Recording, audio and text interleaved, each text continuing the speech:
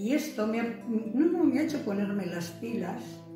Y yo veo que hay personas que a mi edad, a mi edad, soy setentona, pues envejecen vital, con mucha menos vitalidad de la que yo tengo.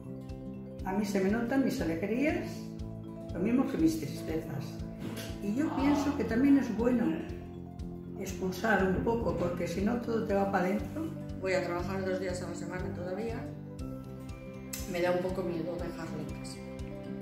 Él en casa anda bien, hace sus ejercicios y tal, pero me da un poco miedo.